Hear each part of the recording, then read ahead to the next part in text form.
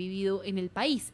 Y el placer de tener a los sumos pontífices justamente ha sido a raíz de este tipo de conflictos. Entonces, qué interesante hoy poder adentrarnos en el mundo de Mariposa Mentalis y preguntarle a su autora justamente a raíz de qué este año. Exactamente, entonces a esta hora le damos la bienvenida a Gloria Chávez Vázquez, que nos acompaña desde Nueva York.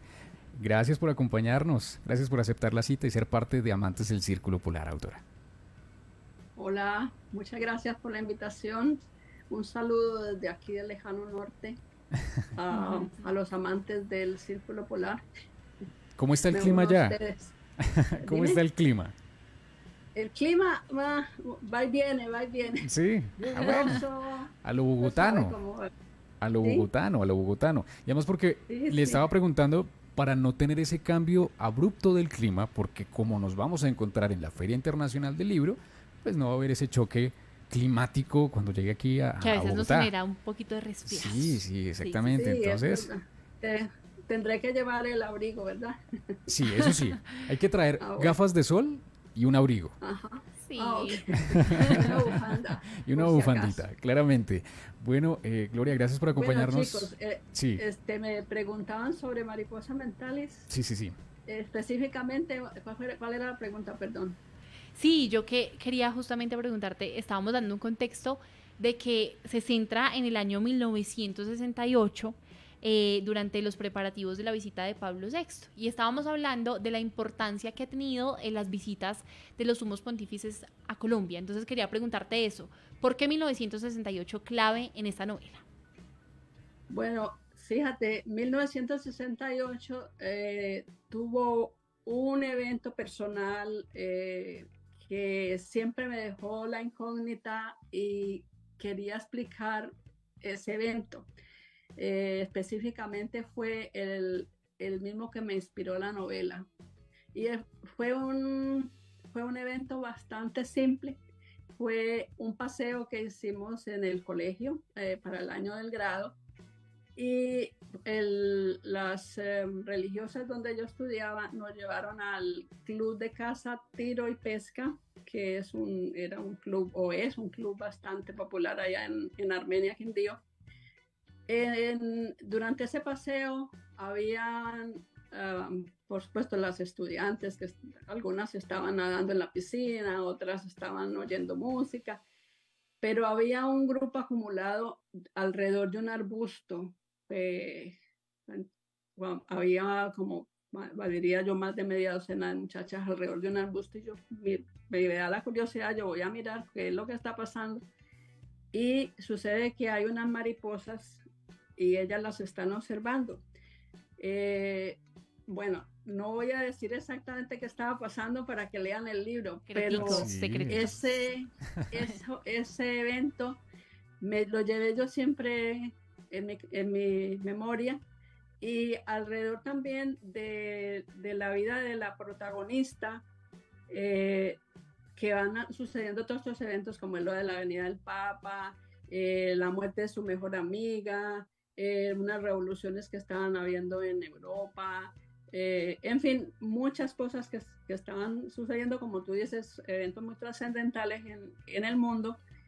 Y la chica está saliendo, imagínate, está saliendo como la mariposa de su capullo, ¿no? Está saliendo por primera vez chocando con la realidad de lo que es la vida. Eh, todo eso se va conjugando, eso sucede en ese año y por supuesto, es, ese año encapsula todas esas situaciones a las que ella se enfrenta.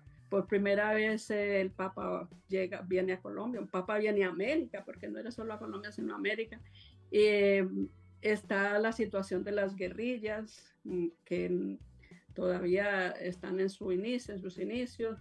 Eh, en fin, tantas cosas que habían pasado a eh, ciertos personajes que son basados en la vida real, otros que hubo, eh, vamos a sacar, que hubo que sacarlo de la ficción para poder ayudar a desenrollar y a, encontrar el misterio, a descubrir el misterio de la muerte de la, del adolescente. En fin, ya, ya sabes todo esto en ese mismo año. ya me está generando intriga y, muchas ganas de, leer. Nos cuenta ahí secreticos, nos deja ahí iniciados. Sí, como, ahí, toca leer el libro, ¿no? Tocó leer el libro. Sí, sí, voy a ir soltando secreticos Ay, bueno, a, ah. medida que avanzo. ah, perfecto, perfecto. Bueno, hablando precisamente de Pablo VI, a él se le reconocía como el Papa del Diálogo. Eso también claramente es supremamente importante en la Latinoamérica de los años 60 porque hay una división gigante y existe esa oleada de eh, el inconformismo, ¿no? Que claro está ahí, presente. Pero dentro de esos momentos trascendentales en el cual pues aparece el Papa como una figura que representa paz, empieza también a aparecer figuras un poco oscuras que también generan ese tipo de, de, suspenso en, esa narrativa de Latinoamérica. En ese suspenso eh, en el que eh, nos, está presentando el año 1968, ¿qué sucede en Colombia? ¿Qué sucede en Latinoamérica para tener esa, eso tan, tan, tan permeado, ¿no? Como tan, tan latente y no dejarlo perder? Sí, sí. Eh, el Papa Pablo VI, sí, bueno, venía con la intención de asistir a las conferencias del Vaticano II, que ya tú sabes que volteó la iglesia al revés, como dicen toda eh, la, liturgia cambió, los rituales, eh, y claro, a la gente eh, muy religiosa no estaba muy contenta con esas decisiones. Sin embargo, cuando el Papa fue a Colombia, él hizo un, un, acto muy, muy bonito que fue reconocer la labor que está desarrollando un, un sacerdote, no sé si ustedes recuerdan, Radio Sutatensa, el, monseñor, monseñor José Joaquín Salcedo, que había iniciado la educación a distancia y estaba educando a los campesinos en Colombia a través de la radio. Lo, lo, que había en Colombia en ese momento era más bien una suspicacia alrededor de ese proyecto porque los religiosos pensaban que él estaba siendo radical y, y que él era el, el que estaba eh, eh, mellando en cierta forma la iglesia y, y los, eh, los eh, personas que tenían estas ideas de revolucionarias también sospechaban de él porque pensaban que la iglesia estaba cogiendo a Colombia de esa manera. Entonces el Papa viene y cuando oye de ese proyecto se da cuenta que ese proyecto es muy valioso. Aparte, lo estaban ayudando económicamente el, este país, los Países Bajos le estaban ayudando a ellos a través de la compañía de una compañía que fabricaba radios, eh, les le enviaban a él todos los equipos, le, enviaban los micrófonos, en fin, y aparte le dieron un premio eh, internacional. Entonces, ¿qué más queríamos? Eh, en ese momento ese proyecto fue modelo del mundo y en muchas partes lo copiaron.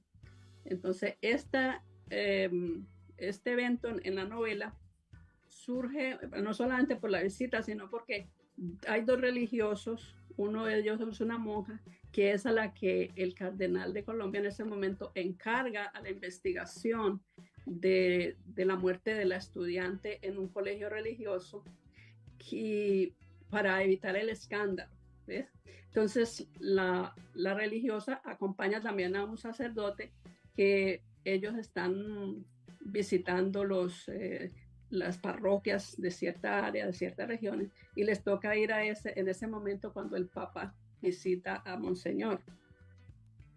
Sí, Gloria, yo creo que cuando uno habla, por ejemplo, de la historia de la religión en, Colombia, lo decíamos antes de iniciar la entrevista, es bien trascendental y sobre todo las visitas de los papas que hemos tenido eh, han marcado ese hito eh, tristemente alrededor de, hechos un poco dolorosos. Eh, por ejemplo, el tema de, Armero, eh, las visitas que llegan en medio de, los conflictos internos que son tan latentes en Colombia. Pero yo quería preguntarle algo y es, a mí me llama muchísimo la atención el nombre de mariposa mentalis. Entonces yo me imagino, ¿no? Mariposa de la metamorfosis, de los cambios, que es un poco ese símbolo de la literatura, pero mentalis no, no he podido descifrar. Cuéntenos mentalis, un poco. Oh, bien. Fíjate, cuando empecé a buscar el título de la novela, yo pensaba, bueno, mariposa, claro, tiene que ir mariposa, pero yo quería como un nombre científico, ¿no? Por, eh, averigüé sobre la mariposa, leí, em, eh, busqué, busqué los nombres de las especies, diferentes especies de las que había en Colombia, especies de diferentes colores, tamaños, en fin. Y entonces vi una que me llamó la atención y dije, bueno, si yo voy a nombrar el libro, lo voy a poner con un, un nombre que recuerde mucho eh, los pensamientos, las ideas, eh, los sentimientos, eh, los sufrimientos. Y alguien me había dicho, es cuando una persona se enamora que tiene mariposas en el estómago, ahora, ¿por qué no una persona que piensa mucho, que sufre mucho, tiene mariposas en la mente? Entonces, digo, pues mariposas mentales, es como mariposas mentales, ¿no? Mariposas mentales. Eh, entonces, ese fue el título, mariposas mentales tienen de la mente, no solo el símbolo y alegoría de la mariposa, sino también lo que puede producir en, en la imaginación, en, en, el, la cabeza, cuando uno es adolescente que tiene tantas preocupaciones, cuando sale uno del colegio, cuando uno se enfrenta a la vida y tiene más o menos ahí la idea. Yo pensaba, ¿no? Cuando uno eh, tiene mariposas en el estómago, que uno usa esa expresión, eh, uno siente como un revuelto de todo que no sabe descifrar. Es como muchas emociones al tiempo que usted no puede descifrar, entonces dice, ay, siento mariposas en el estómago. Pero ahora, pensándolo bien, uno muchas veces tiene mariposas mentales que tampoco sabe descifrar y no lo había escuchado por ahí, me pareció bien, bien interesante. Sí, sí, pues mira, eh, como dicen, eh, aquí hay que acuñar ese, ese término, hay que acuñarlo porque los, los adolescentes, bueno, tú recordarás en la adolescencia, uno tiene bastantes cosas en la mente, muchas, muchas preguntas, mucha curiosidad, cosas que uno no tiene respuestas y tiene que salir a la vida, enfrentarse a la realidad para contestarse, por lo menos obtener respuestas satisfactorias de las cosas que a uno lo han atormentado de, de, cuando uno está adolescente, ¿verdad? No, yo todavía soy adolescente. bueno, sí. Entonces ya tú, ya tú sabes, ya, tú, ya puedes identificar lo que tienes en la mente. Son mariposas. Son mariposas, claro. Y además que en este momento estamos descubriendo una infinidad de emociones que eh, desafortunadamente en la época, refiriéndome exclusivamente al, año en el que está expuesto este, este libro, en los años 60, el hablar de la salud mental era cosa de locos, literalmente, ¿no? si yo decía, tengo que ir al psicólogo, está loco. Dice, no, hombre. correcto. Y verlo ahora en este momento, traerlo desde esa eh, mentalidad tan eh, coloquial de la época y traerlo a la actualidad, pues obviamente hay una fractura y hay una eh, eh, evidente reflexión sobre lo que sucedía en ese momento para que nosotros no volvamos a cometer ese tipo de cosas. Entonces, esta, esta misma reflexión que nos presenta, por supuesto, Gloria, es para eso, ¿no? Para adentrarnos, de acuerdo a la misma novela, a la misma historia, también adentrarnos en esa introspección mental, mariposa mentalis. Es correcto. Sí, el libro levanta esa, esa interrogante. ¿Por qué los colegios no le daban asistencia psicológica a los estudiantes y sobre todo a los que se están graduando, porque el que se está graduando está como yendo a un precipicio y uno va al precipicio y sabe que tiene que tirarse porque, pero por favor ayuden a guiar hacia donde uno cae menos duro, ¿verdad?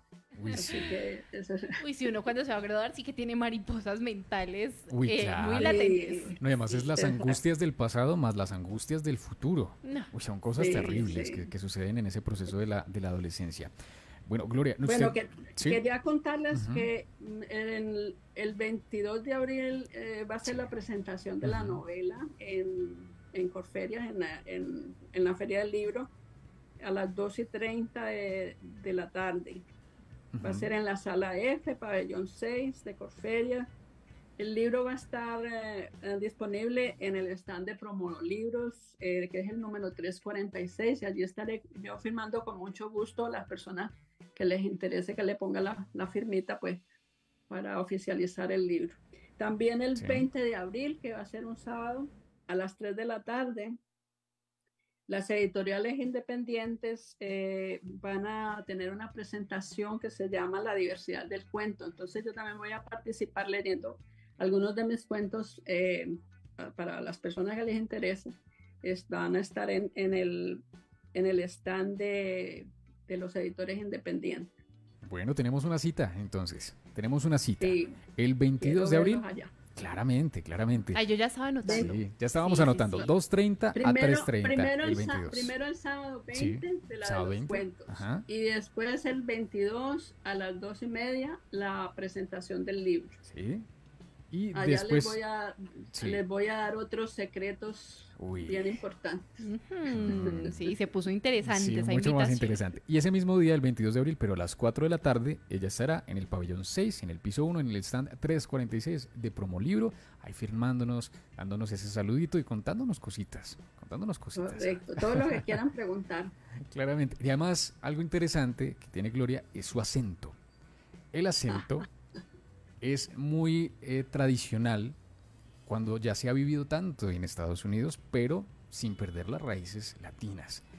Gloria es colombiana. Hay, que, poner allí el sello. Ella es colombiana, pero tiene este acento tan particular. Entonces, cuando ella esté contándonos estos cuentos, contándonos los cuentos, pues vamos a tener este, este acento tan, tan maravilloso que tiene Gloria.